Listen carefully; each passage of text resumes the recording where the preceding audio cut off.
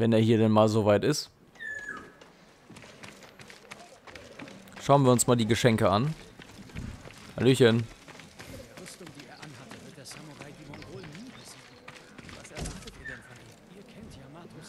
100 Vorräte.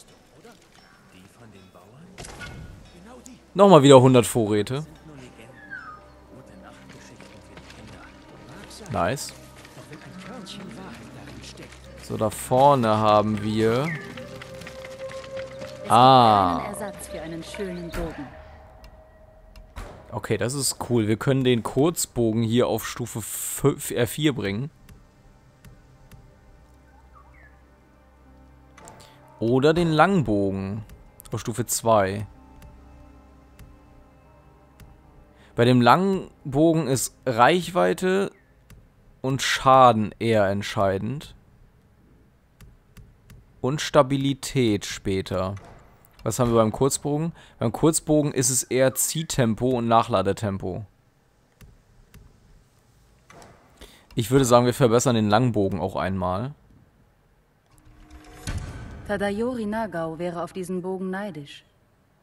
Euch fehlen die benötigten Materialien. Tut mir leid. Danke. Mögen eure Wir können trotzdem eine Rüstung verbessern.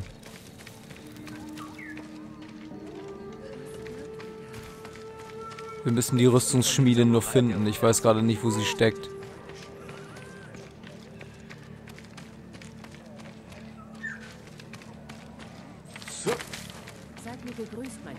Da vorne ist Masako.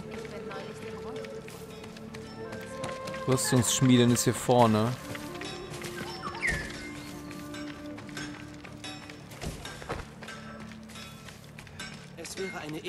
Klinge zu bearbeiten, mein Herr. Ah ne, das ist der Schwertschmied.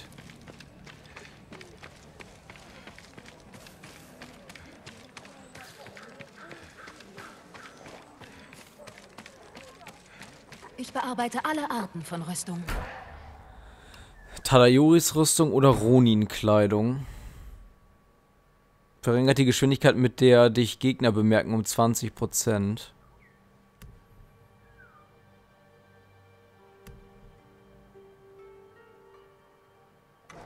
Wie ist es bei Tadayoris Rüstung? Erhöht die Geschwindigkeit beim Einlegen und Nachladen von Pfeilen um 30%. Sieht auf jeden Fall cool aus. Ich meine, da kriegen wir sogar den Helm dazu. Guckt mal. Den passenden. Und diesen Umhang. Nehmen wir das mal. Viel besserer Schutz. Gefällt mir auf jeden Fall. So, nun reden wir mit Masako. Fürst Sakai. Kommt schnell! Fürstin Masako. Habt ihr Neuigkeiten über die Mörder eurer Familie? Auf der Liste, die wir fanden, stand Sadao ganz weit oben. Er ist das Oberhaupt des Kuta-Gehöfts. Kutas Leute dienten eurem Clan. Warum wendete er sich gegen euch? Er ist ein undankbarer Verräter.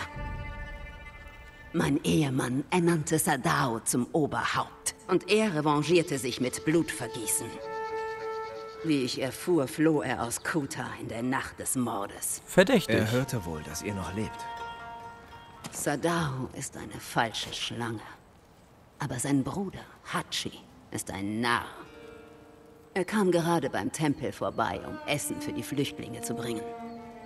Zeit für eine ungeplante Lieferung an seinen Bruder. Und wir sind da, um ihn zu schnappen. Ja, der kann sich gefasst machen. Der kriegt von mir eine extra scharfe Portion Pommdöner. Mhm.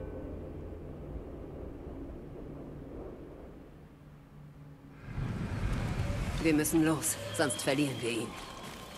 Ja. Nach dem Vorfall im Gasthaus hatte ich euch nicht mehr im Tempel erwartet. Ich wollte Sadaos Bruder suchen und um die Toten des Adachi-Clans trauern. Habt ihr eure Familie angemessen bestattet? Nicht solange die Mörder frei sind. Nach dem Tod meines Vaters verabschiedete ich mich in derselben Nacht. Das hat den Schmerz gelindert. Ich habe sie begraben. Das muss ausreichen. Vorerst. Wann habt ihr zuletzt geschlafen oder gegessen? Gestern hatte ich etwas Reis und Fisch. Selbst junge Krieger brauchen volle Mägen und ausgeruhte Schwertarme. Nennt ihr mich etwa alt, Fürst Sakai? Das würde ich nicht wagen. Meinem Schwertarm geht es gut. Ich wollte gerade sagen, ich würde es nicht wagen, euch alt zu nennen.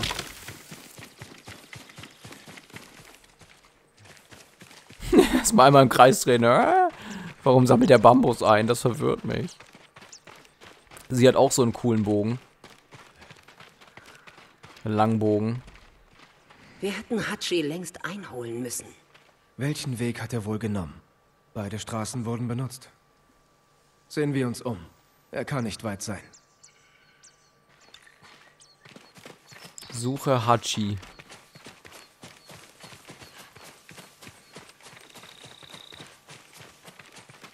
Hier vorne ist doch irgendwas.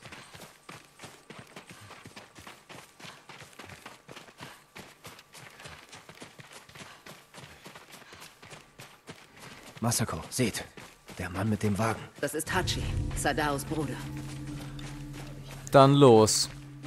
Wo ist er nur? Da, gut. Bleib weg von mir, Helford. Was für ein schönes Wetter heute. Dicht, aber außer Sicht. Oh. Weißt du, sie sagt mir, wir folgen ihm dicht, aber außer Sicht. Wo als ich gerade in seinen Arsch ge ge quasi eingetreten bin. So nah war ich. Aber wir folgen ihm. Dicht, aber außer Sicht. Sei brav, Ringo. Sonst gibt's nachher keine Karotte für dich. Ringo. Bleib zurück.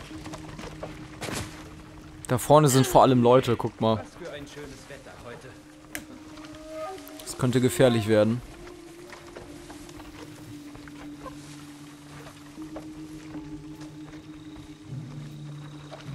Wenn uns Mongolen begegnen, dann zählt besser nicht auf mich.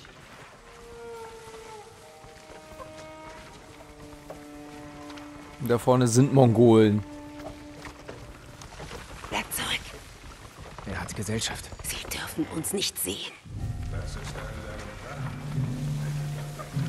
Nahrung? Wasser? Andere Sachen.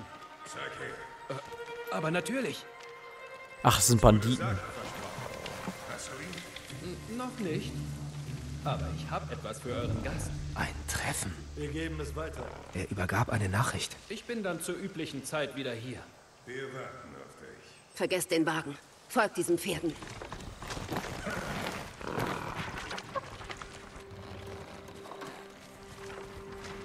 Nun müssen wir also den Banditen folgen.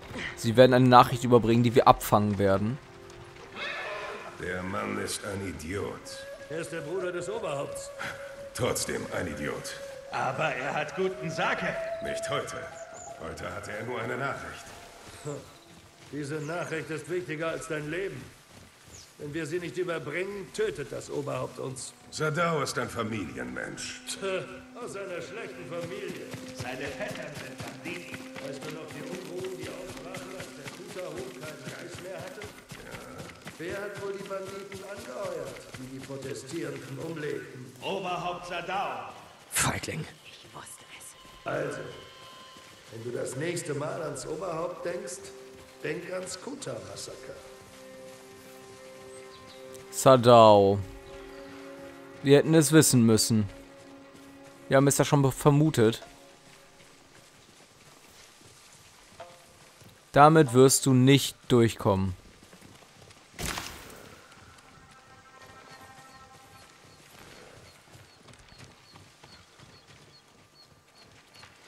Ist es hier schon das Kuta-Gehöft?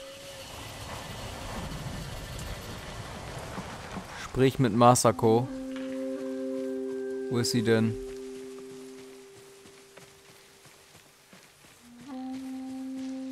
Wo ist sie denn? Ach da. Gott. Ein Holzfällerhaus. Von Banditen bewacht. Sadaos Vettern. Er versteckt sich wohl dort. Das wissen wir nicht. Aber wir finden es bald heraus.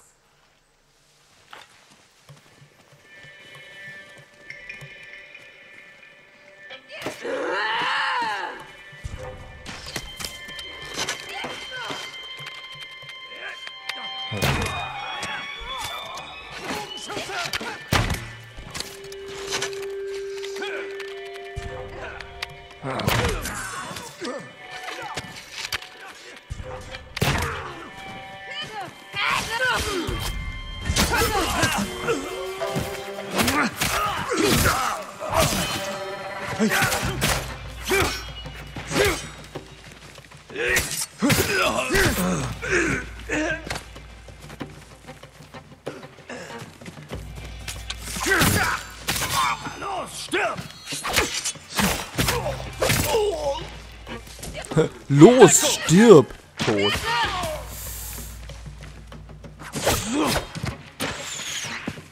So, wo ist der letzte? Da oben.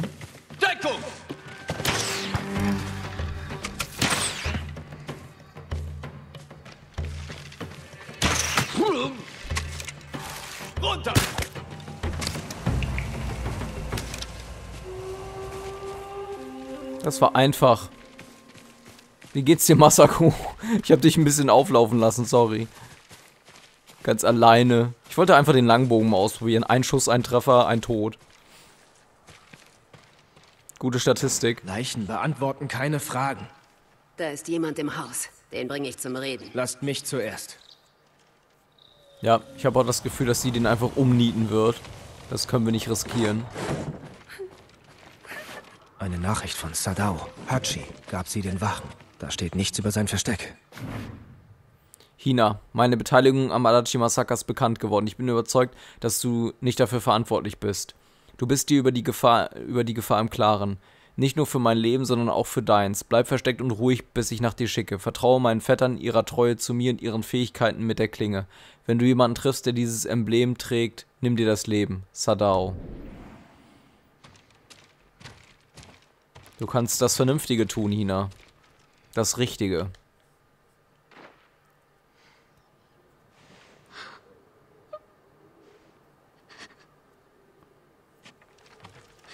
Ich werde euch nichts tun. Mein Name ist Sakai. Wer seid ihr? Hina, Sadaos Weib. Mein Mann ist unschuldig. Die Mongolen töteten eure Familie. Wo ist er? Ich weiß es nicht. Ihr lügt. Sie hilft uns. Und sie kann nicht hierbleiben. Ich bringe sie zu meinem Anwesen. Sie wird mich umbringen. Es wird euch nichts geschehen.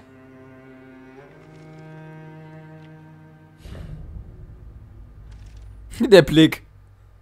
Bitch, please. Okay. Wir haben also nun Sadaos Vibe, China, in unserer Gewalt. Talisman der Entschlossenheit, Talisman der Nützlichkeit. Wir bekommen wieder ein Geschenk. Tja, wie das wohl ausgehen wird, das ist die Frage.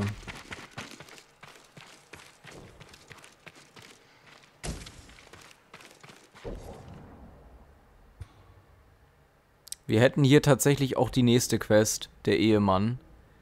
Würde aber sagen, wir versuchen jetzt erstmal hier den Vorfall an der Hiyoshi-Schlucht zu lösen. Erstmal möchte ich aber das Ogawa Dojo befreien. Denn da erhöhen wir unsere Legende sogar um einen mittleren Wert.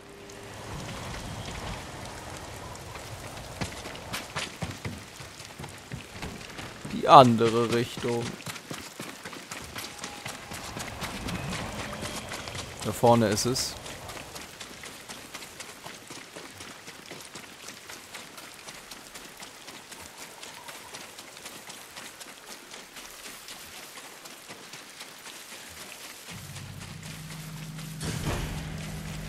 Befreie das Ogawa Dojo.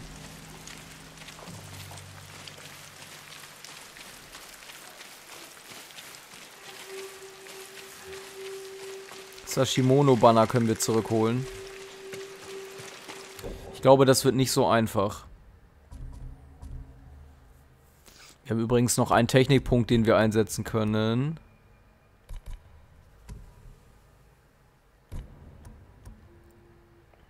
Fließende Schläge. Entfessle eine Flut von vier schnellen Schlägen.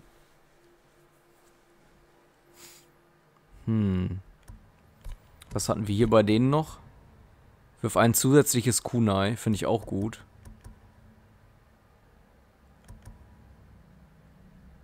Hier haben wir jetzt ja eine Herausforderungsserie, stimmt. Sichere Landung. Rolle dich kurz vor der Landung ab, um Schaden durch Stürze aus angemessenen Höhen zu vermeiden. Spüre entferntere Gegner auf, indem du noch konzentrierter lauscht. Machen wir das mal.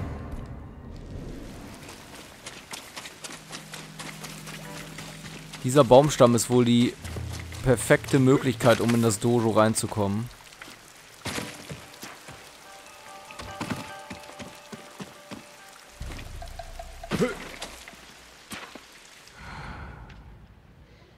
Oh, jetzt sehen wir jede Menge.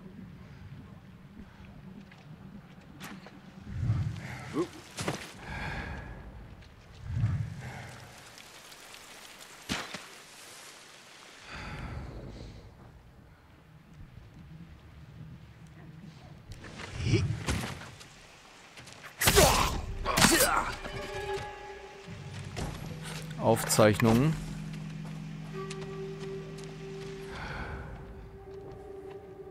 Hier vorne ist direkt einer.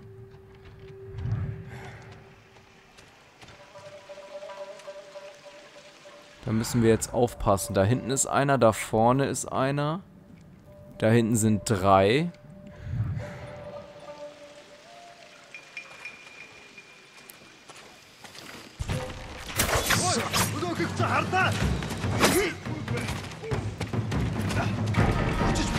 Da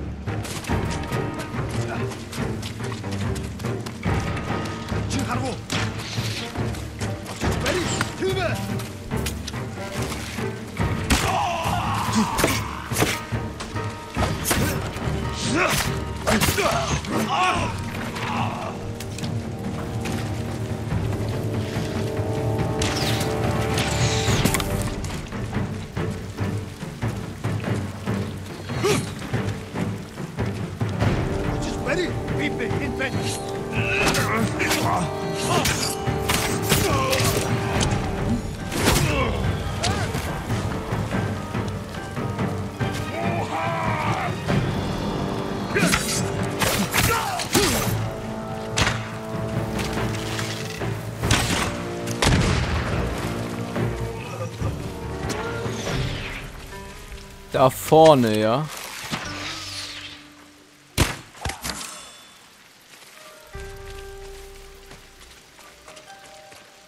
Ja, ich, ich gebe es ja zu, ich war jetzt nicht unbedingt still oder so.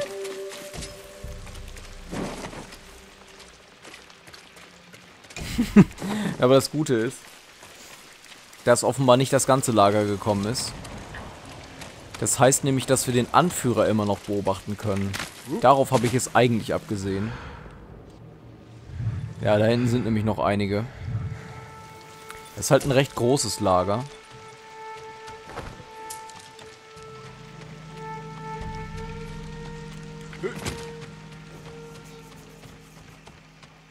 Ich gehe dann übrigens davon aus, dass man hier... Ja, schwere Pfeile. Bei schwere Pfeile werden wir wahrscheinlich auch noch, ja genau, da können wir die Kapazität auch noch erhöhen. Trotzdem frage ich mich natürlich, warum hier noch so viel Platz ist, nach unten. Also da könnte noch einiges kommen. Stimmt, Sprengpfeile haben wir ja auch noch. Ach, die sehen wir hier. Also da könnte noch einiges kommen. Was halt grundsätzlich echt cool ist. So, jetzt müssen wir mal gucken. Spontan würde ich jetzt sagen, dass wir eher von dieser Seite aus mal weitergehen. Das ist nur einer.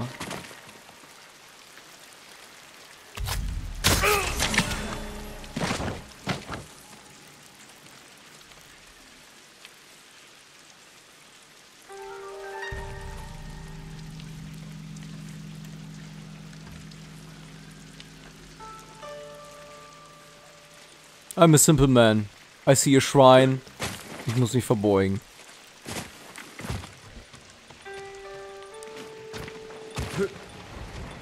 Noch ein Sashimono-Banner. Dankeschön.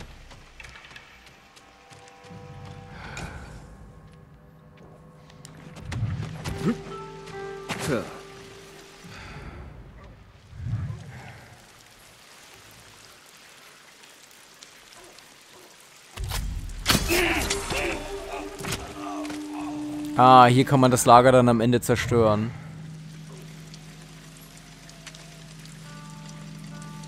Let me see. Der schläft. Okay, den können wir so erledigen. Das ist aber ein sehr einfaches Lager. Das sind auch die einfachen Mongolen.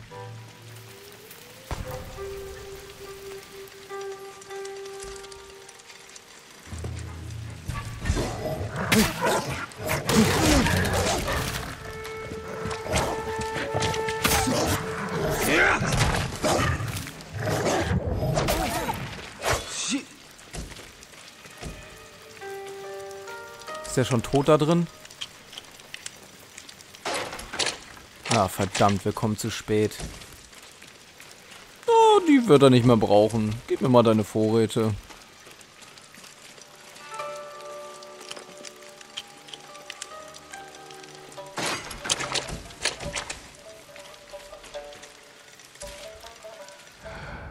Da vorne sind noch welche.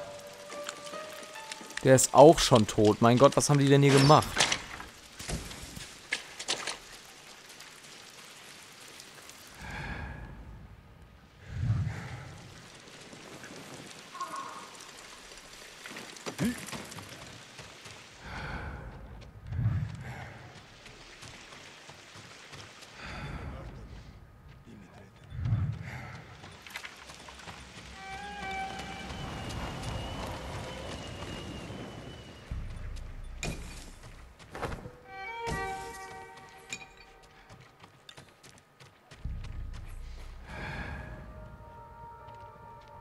Vielleicht gibt es hier auch gar keinen Lagergeneral. Das kann auch durchaus sein.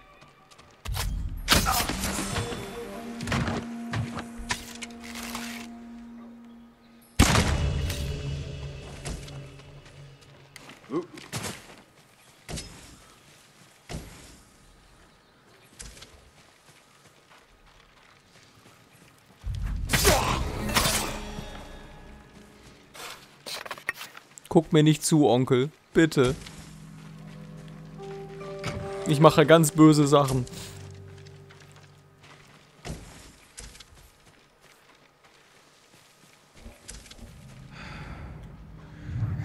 Da vorne ist noch einer. Eisenvorräte, Rauchbomben. Können wir gerade leider sowieso nicht viel mit anfangen.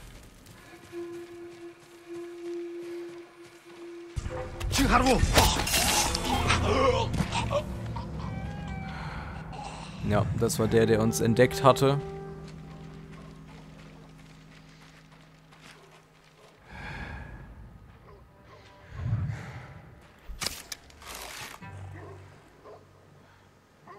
Dites-nous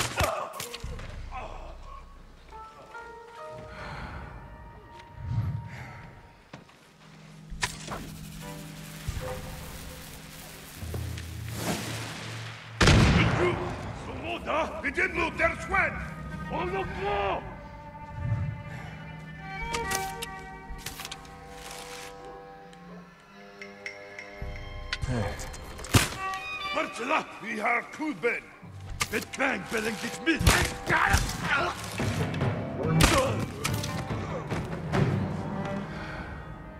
Da vorne sind noch welche.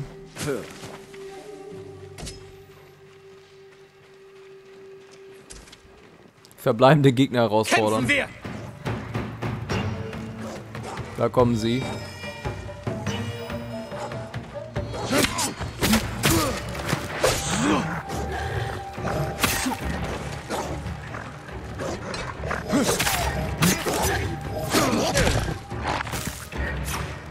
Wo ist Doggo? I don't see him.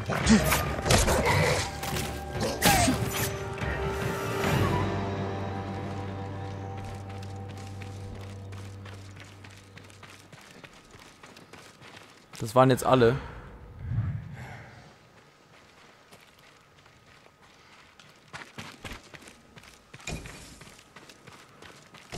Es scheint so. Es scheint so, als wären das alle. Na dann. Bye bye Lager.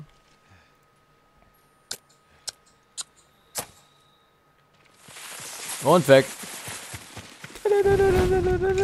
Batman.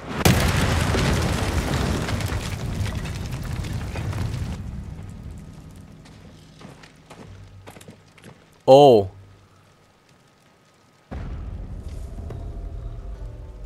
Oh.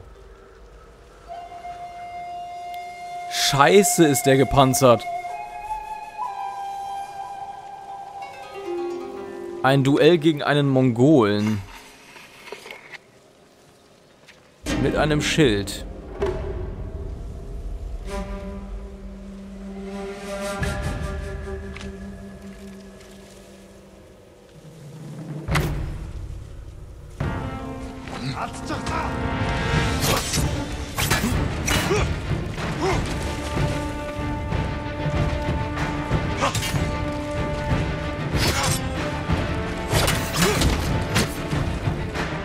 Kriegsherr Dogar.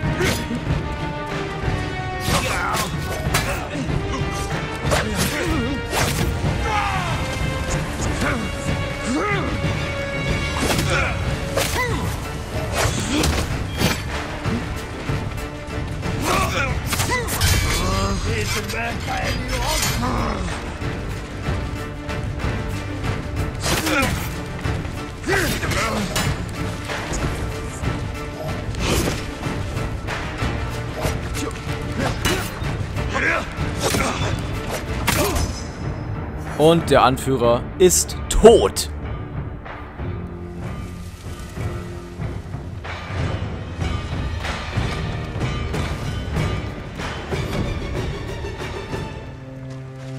Befreie das Ogawa Dojo. Und ich finde es richtig schön, dass sich hier jetzt wieder Japaner ansiedeln.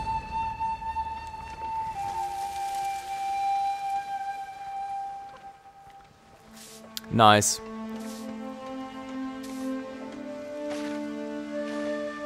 Perfekt. Vielleicht können wir noch mit der ein oder anderen Person hier reden. Technikpunkt. Und zwei Gold. Warum bin ich so dreckig? Ich glaube, ich muss erstmal ein Bad nehmen. Krass.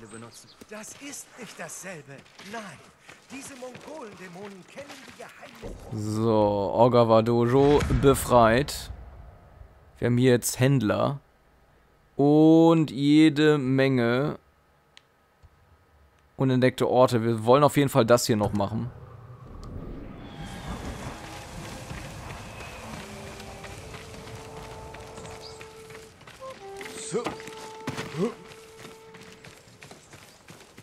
Ist hier denn niemand, der mit mir reden will? Ich war doch so artig. Hallo?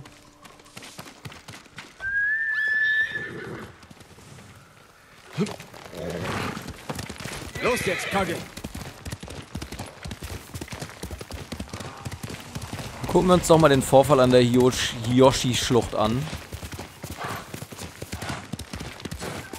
Technikpunkte haben wir wieder einen dazu gekriegt. Außerdem haben wir hier noch was, und zwar Aufzeichnungen. Gespräche mit dem Khan. Kotun Khan spricht in letzter Zeit oft von seiner Heimat.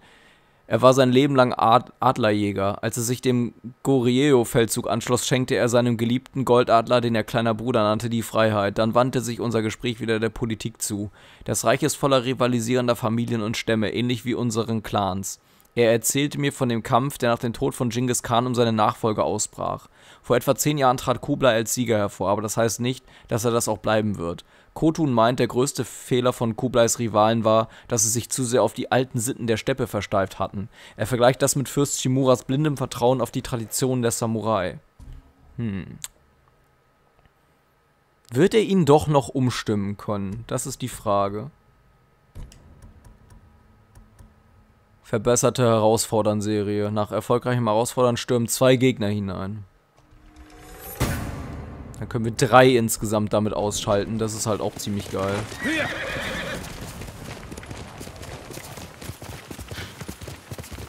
Seid tapfer, Wanda! Wir retten dich, mein Junge! Hört auf, ihr Bestien! Mein Herr! Was ist los? Sie belagern die Brücke! Recht. Wir waren auf der Flucht ins Hiyoshi-Halbert. Die Brücke sah sicher aus, doch die Mongolen lauerten in der Schlucht. Sie schossen von unten auf uns. Jemand ist verletzt. Banta, der Sohn meines Bruders. Sie benutzen ihn als Köder. Eure Familie soll sich von der Brücke fernhalten. Ich beende das. Und wie wir das beenden werden, da ist Banta, der ist auf der Brücke. Und sie können ihn halt nicht erreichen, weil dann auf sie geschossen wird. Schrei weiter, Claire! Rette Banta.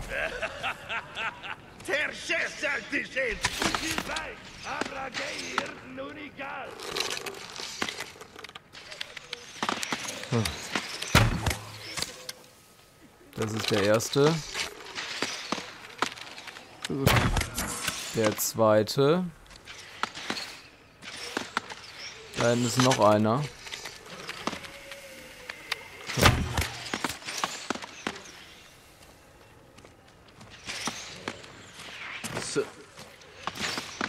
Look at that.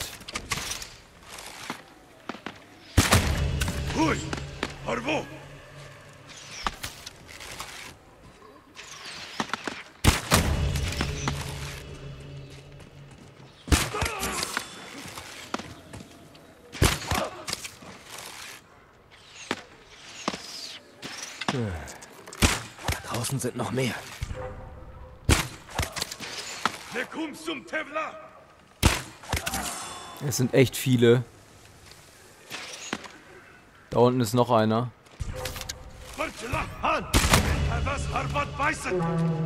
So, der hat uns entdeckt. Das waren dann alle. Jetzt zu dem Jungen. Halleluja, das reinste Moorhuhn-Schießfest hier. Aber wir haben sie erledigt. Da vorne sind aber auch noch welche, oder? Banta. Sie schießen nicht mehr. Es ist vorbei. Geh zu deiner Familie. Hab Dank, mein Herr. Die Brücke ist sicher. Die haben in dem. Die haben hier einfach keine Kinder gemodelt. Es gibt keine Jugendlichen oder Kindermodels in diesem Spiel. Denn jedes Mal, wenn es hätte eines sein müssen, war es jetzt doch nur ein Erwachsener. Die Mongolen sind fort. Haben sie geschrien? Kümmert euch nicht um ihr Leid. Stand's doch hier neben, Bringt eure Mann. Familie zum Miyoshi-Heilbad. Die Straßen sind gefährlich. Jawohl. Danke. Aber krasse Schlacht. Man hätte jetzt natürlich von, ähm, man hätte jetzt natürlich unten durchgehen können und die dann nach und nach von der Seite hätten ausschalten können. Aber also so fand ich das jetzt am einfachsten. Und halt auch am effektivsten. Unsere Legende ist jetzt auch fast wieder ein Punkt weiter. Talisman der Verteidigung. Und zehn Leinen, die wir noch erhalten haben.